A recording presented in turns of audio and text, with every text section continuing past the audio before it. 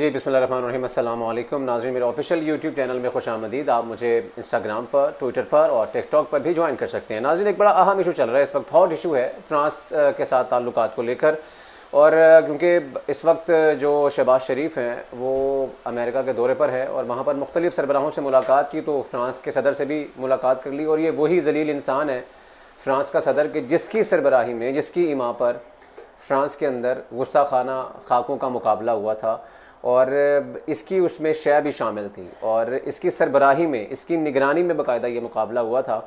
आ, अब उस चीज़ को आप मद्देनज़र रखिए और दूसरा शहबाज शरीफ का उससे मिलना। अच्छा उसके बाद ना आप सोशल मीडिया पे एक बड़ी डिबेट चल रही है जी तहरीक लब्बैक कहाँ है टी एल पी कहाँ है?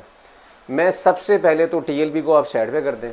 दीगर सियासी जमातों को जिसका जो किरदार है साइड पे कर दें। मैं बहसीत मुसलमान इस वक्त बात करना चाहता हूँ और पूरी कौम से मैं मुखातिब होना चाहता हूँ। और एक मैं सबसे पहले आयत पढ़ना चाहता हूँ अल्लादीन यूज़ून अल्लाह व रसूल लानहमुल्लाफ़िदुनिया वलआखिरा व अदलहम आज़ाबम मुहिना। इस आयत का तर्जमा अगर आप पढ़ें तो वो ये है कि जिसने अल्लाह और उसके रसूल को दुनिया में ईज़ा दी, वो लानती है। उसको अल्लाह जलील और रसवा कर देगा। इससे आप अंदाज़ा लगा लें कि वो किस कदर लानत का मुस्तक है वो शख्स अब आप इस आयत को मद्देनज़र रखते हुए अब आप शहबाज शरीफ का मिलना आप देख लें फ्रांस के सदर के साथ यार आपके अंदर हिम्मत नहीं है आप उनसे जंग नहीं कर सकते ठीक है जी ਤੁਹਾਡੇ गोडे गटियां च पानी नहीं है ठीक है ना करो तुम जंग यार एक बंदा जब आपको पता है कि वो गुस्ताख है आप उसको शटअप कॉल नहीं दे सकते आपके ताल्लुकात ख़राब होते हैं। इतना तो कर सकते हो कि आप उस, उससे मिलने से बाइकआउट ही कर लो। आप उसको कम अज़ कम ये जस्चर ही दे दो यार कि आपने ये काम किया था, इसलिए हमारा आपसे बोलचाल नहीं है।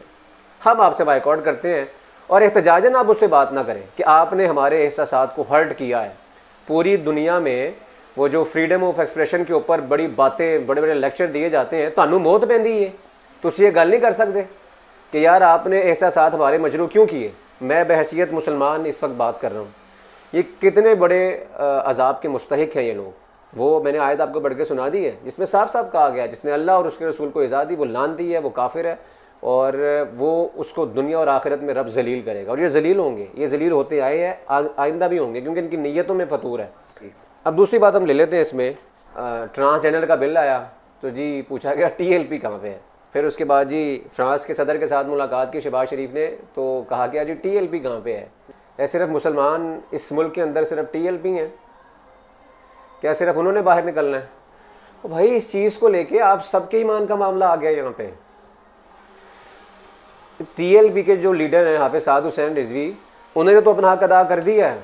उन्होंने तो कह दिया है कि ये ये जो शहबाज शरीफ ने मुलाकात की है ये इसने काफिरों वाला एक्ट किया है इसने और वो लानती है वो अजाब का मुस्तक है फ़ौर मुस्ताफ़ी हो जाओ उन्होंने अपना सख्त बयान दे दिया है हूँ तो ठंड भी पै गई होगी आप क्या कर रहे हैं ये बताएं जब आपके लीडर जो कि सियासत को जिहाद कहते हैं इमरान खान साहब फरमाते हैं जी मैं सियासत नहीं मैं जिहाद कर रहा हूँ इतने ਤੁਹਾਡੀ जी जिहाद है जी सियासत वो कितने गई वो मर गई थोड़ी ये तो सियासत से भी नेक्स्ट लेवल है भाई इस पर आपने अपने ईमान का जवाब देना है।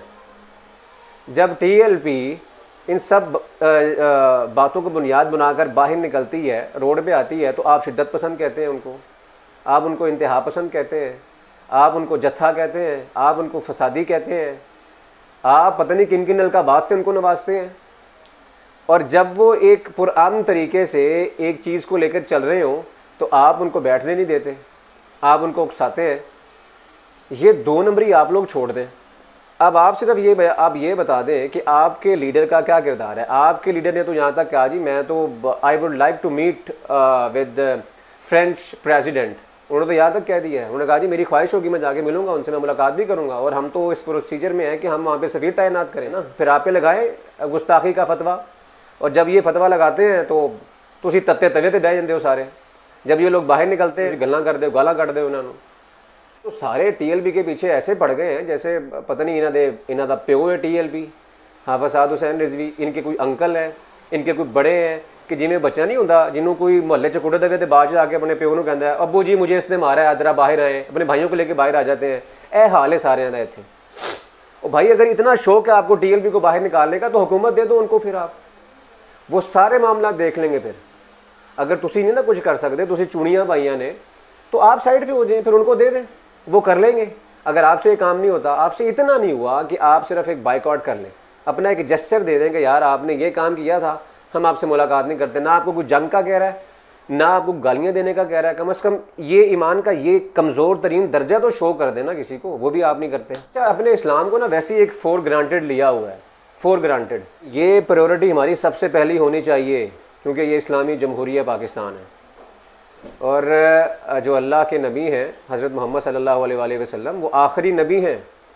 और अपनी तकरीर इनकी उठा के देखें ना, आप अभी यूएन में जो तकरीर करके आए माशाल्लाह, शहबाज शरीफ साहब कुलिया इबादी अल्लाह दिन असरफ वसीम ला तकना तुम रहमत फिरजुनूबा जमिया ये आयत पड़ी वहाँ पर जिसका ताल्लुक ही नहीं है, ना सैलाब जदगान से, ना कश्मीर से, ना किसी और से।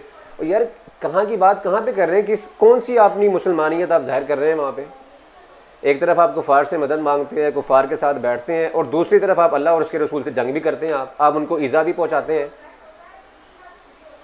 ये ए दो नंबरी तुम दुनिया च कर सकते हो उत्थे जाके जवाब देना है। ए, ये बात आप याद रखें। जेडे सोशल मीडिया से बह के मज़े लेंगे ना एक कहते हैं ना कि शैतानी चरखा है ये जो कि एक उंगली उंगली करता है और उंगली करके पीछे हट जाता है और सिर्फ़ मज़े लेता है पीछे बैठ के।